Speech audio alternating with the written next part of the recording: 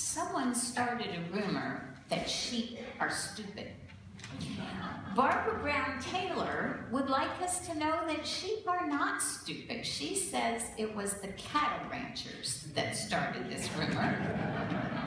and that's because when you are working with cattle, you drive them. The cowboys ride up behind them and they make all kinds of noise and crack their whips and prod the cattle and, and drive them from behind, and the cattle will go to the direction that the cowboys want them to go. If you try to drive sheep, though, it won't work. They don't understand what you're doing. They get scared, they run around, and you're likely to find them getting behind you if you try to drive them. Sheep prefer to be led. Now, truthfully, I don't think most of us like to be driven either. We don't like to be poked and prodded and have people shouting at us to get us to move in the right direction. Most of us, I think, prefer to be led too. Not everybody. I know lots of people that are very independent and don't think they need anybody at all to lead them, but a lot of us do know that we, we need to have leaders. And in fact, more and more now we're becoming aware as things heat up for the 2016 presidential campaign, there are a number of people vying to be our leader. And if we are wise, we're starting to listen to these people to see what it is they're telling us. What are their credentials? Are they going to lead us in the right path? And just to make the point one step further about sheep, we talk about are they offering a platform that we can get behind? We want to get behind a good leader in a presidential election. Well, in our scripture today, Jesus is giving us his credentials for why we should follow him, why he is the good leader. He says he's the good shepherd. For us today, that probably evokes that picture of Jesus with a cuddly, woolly lamb draped around his neck, and it makes us feel warm and good, you know, that he's caring for that sheep. But in the day when he said it first, it probably wasn't that kind of image that was evoked. Shepherds in those days were very low on the hierarchy status list. They were doing physical labor out in the fields. Sheep sometimes don't smell so good, so sometimes shepherds didn't either. They didn't have to be well educated, they didn't have to be well trained. It was considered to be a menial task, they weren't well paid.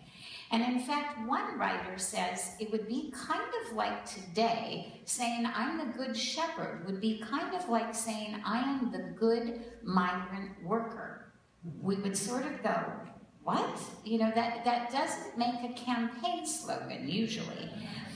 But to the people who were poor, the people who were on the outcast end of things, the people that were struggling to be considered worthy of uh, coming to the temple at all, for those people, hearing about this good shepherd who tends the flock, who builds a relationship with the sheep, who loves them and, in fact, will lay down his life for them. That's a good kind of leader. That's good news. But he's a different kind of leader than what the people were expecting.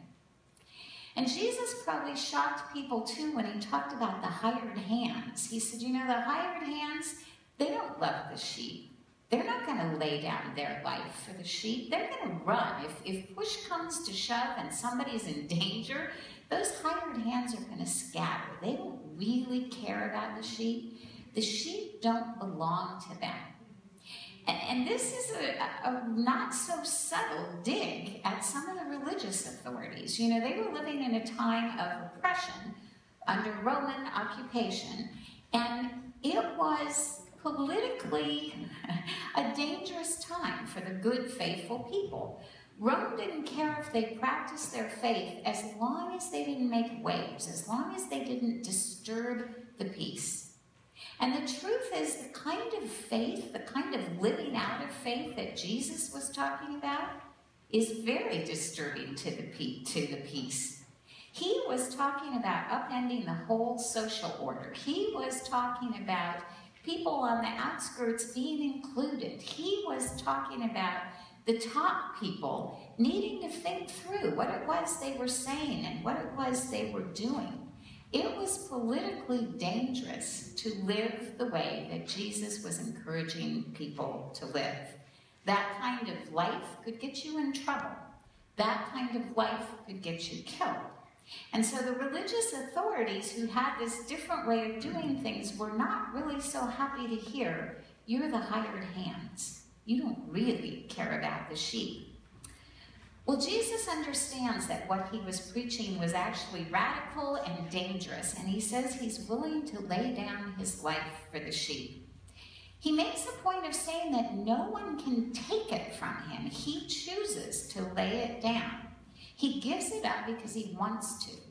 And this is a really important distinction. If you think about a, a family that doesn't have much money, and a parent who works two jobs so that the family can survive, I think some of us have seen models and examples in two different ways in a family like this. Some folks will let the kids know, I am working my tail off because of you, but it sounds like a bad thing. You know, if you weren't here, maybe I wouldn't have to work so hard. This is costing me something to do this. But there are other families where the parent works two jobs and it's a gift to the children. I want you to have something I didn't have. I want you to have a better life than the one I've had. And I'm willing to give up some of my comfort as a gift to you so that you can have these things that I want you to have. You hear the difference? It's a choice. If you feel like you have to do something and you're resentful, it's not a gift. But if you choose to give up something that you want so that somebody else can have a better life, that is a gift. That's a real gift. Some of you, I'm sure, have seen the movie Unbroken about Louis Zamperini. There's a book by the same name, and someone told me that the movie, while good, is not as good as the book because the movie doesn't deal with redemption.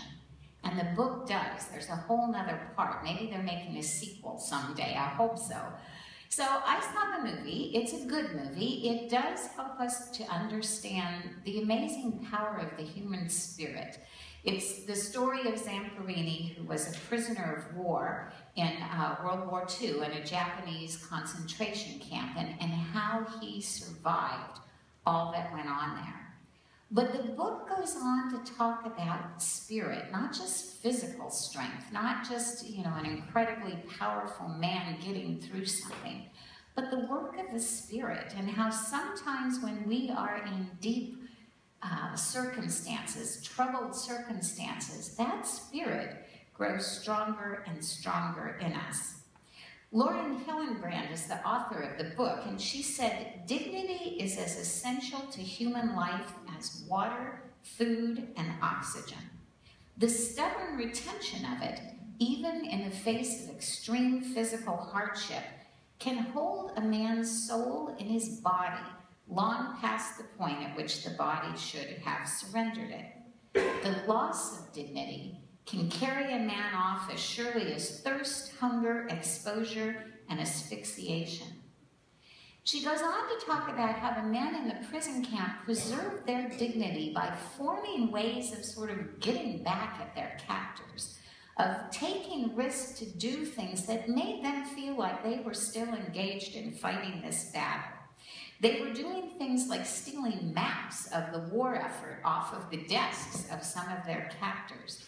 They were keeping lists that they had to hide of words that they were learning in Japanese. So if they ever escaped, they would have the means to, to understand what was going on and, and be better because of it. She says, though the captive's resistance was dangerous, through such acts, dignity was preserved, and through dignity, life itself. Everyone knew what the consequences would be if anyone was caught stealing newspapers or hiding items as incriminating as maps and a dictionary. But at the same time, it seemed worth the risk.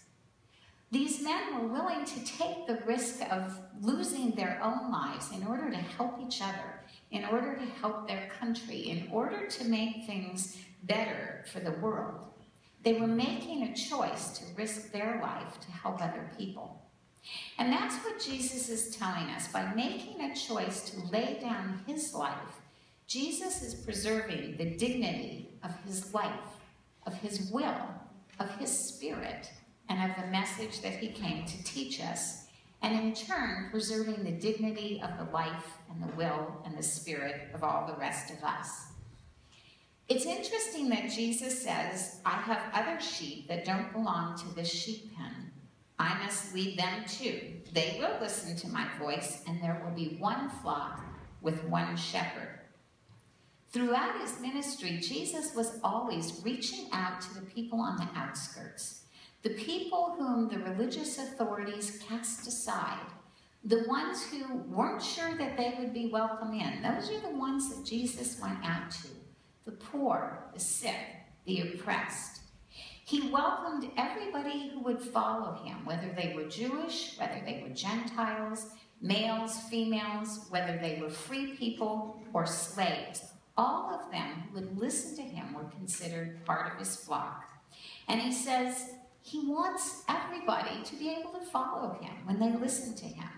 They will listen to my voice, he says, and there will be one flock with one shepherd. These are important words for us as the United Methodist denomination looks ahead to its General Conference in 2016. There are some people calling for a split in our denomination because we can't agree who's in our sheep pen and who should be outside of our pen. Jesus says there's to be one flock, one voice, one shepherd. We learn to lead by following others. Sometimes we think that being the leader means getting our own way, that we can impose our will on others if we're in charge. We can do it by force. But Jesus makes the point he's a good shepherd, not a cattle rancher. because it's not in driving people to do your will that true leadership is shown in the way that Jesus shows it, but rather in getting people to follow you by building up relationships that are based on trust and love. Jesus' style of leadership means giving up some of the comforts that he might have had in order to bring life to other people and preserve dignity for all of us. It means including everyone who wants to come along and forming relationships that are based on love and care. We have so many voices calling to us today, inviting us to follow them but the Good Shepherd leads by us listening to his voice. The Good Shepherd puts out a voice that the sheep respect and understand and know. And we are called to follow that voice and let it lead us from all the distractions of the world down the path upon which Jesus trod. It's the path that's good for us. It's the path that leads to life. I think we've all heard the expression lead, follow, or get out of the way. Well, Jesus transforms this, this expression. He teaches us a different way. His way is we follow him, then we can lead others, and together we can all find ourselves on the way. Follow, lead, and get on the way. Thanks be to God. Amen.